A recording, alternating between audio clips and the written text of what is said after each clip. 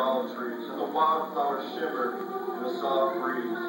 Coveys of little swifts darted across the rock and down into the garden below, there to peck for food, to keep a wary eye on man. At the first murmur from the crowd, they took flight. The executioner laid the crossbeam behind Jesus and brought him to the ground quickly by grasping his arm and pulling him backward. As soon as Jesus fell, the beam was fitted under the back of his neck, and on each side, the soldiers quickly knelt on the inside of the elbows. Jesus gave no resistance and said nothing, but he groaned as he fell on the back of his head, and the thorns pressed against his torn scalp. Once begun, the matter was done quickly and efficiently. The executioner wore an apron with pockets. He placed two five-inch nails between his teeth and, hammer in hand, knelt beside the right arm. The soldier whose knee rested on the inside of the elbow held the forearm flat to the board. With his right hand, the executioner probed the wrist of Jesus to find the little hollow spot. When he found it, he took one of the square-cut iron nails from his teeth and held it against the spot directly behind where the so-called blind point is.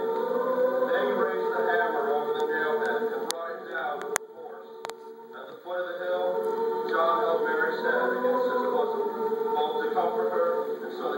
not see. Among the spectators, many turned away. Some cried, some prayed aloud. Some walked away toward the Gennath gate. The executioner jumped across the body to the other wrist. As soon as he was satisfied that the condemned man could not, in struggling, pull himself loose and perhaps fall forward off the cross, he brought both his arms upward rapidly. This was the signal to lift the cross crossbeam. Two soldiers grabbed each side of the crossbeam and lifted.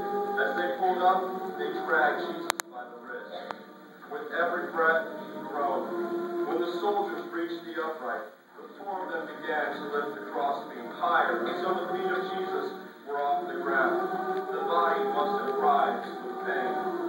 The four men pushed upward until the mortise hole was over the upright.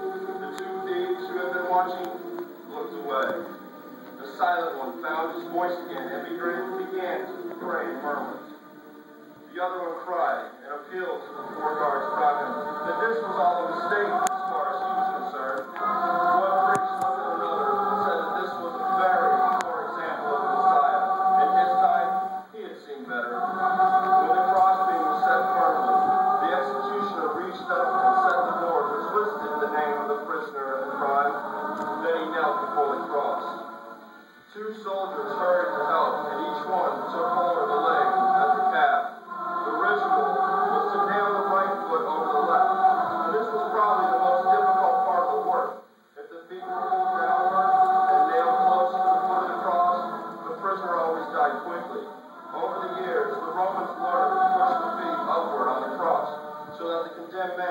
man on the nails and stretch himself upward.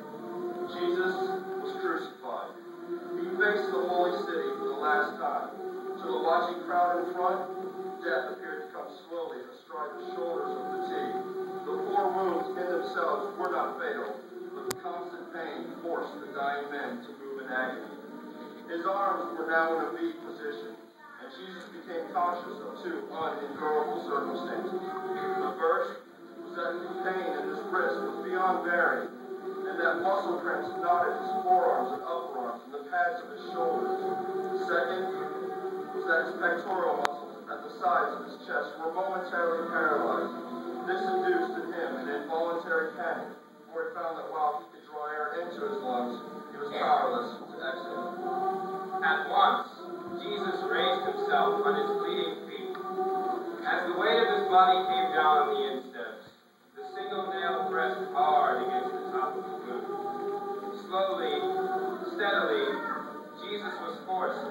himself higher until, for the moment, his head hid the sign which told of his crime.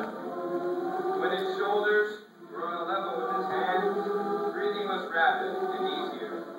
Like the other two, he fought the pain at his feet in order to breathe rapidly for a few moments.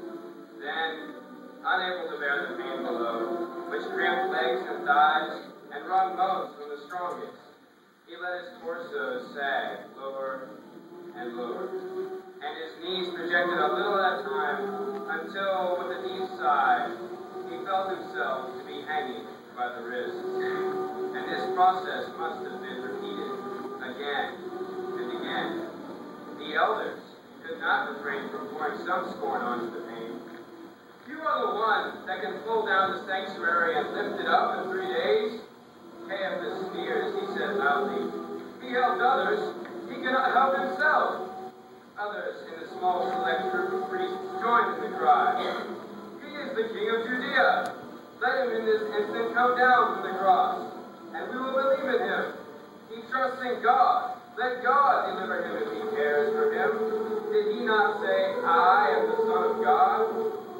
The sky darkened until the sun could be stared at with the human eye. The blue deepened until the darkness of dusk descended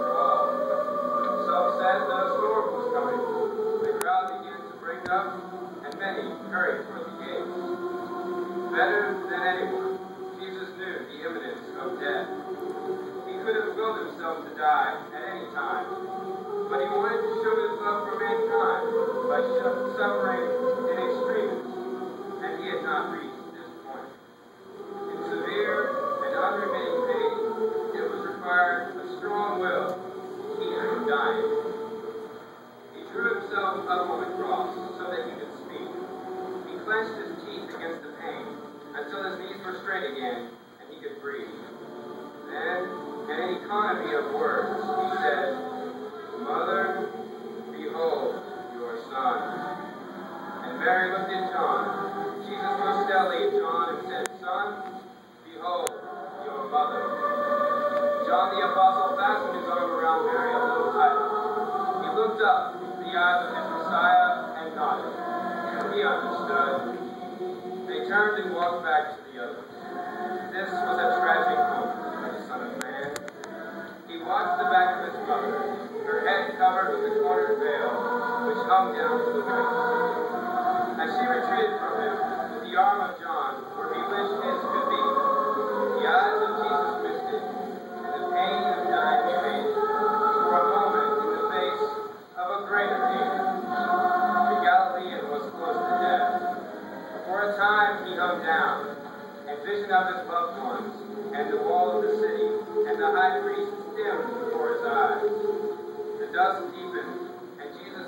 chill shock of even instant death.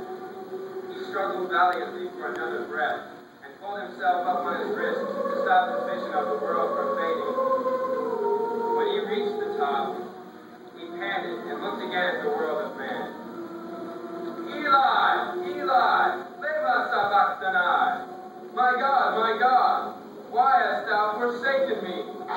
The voice was so loud the spectators thought they'd be throwing Elias, the prophet. This man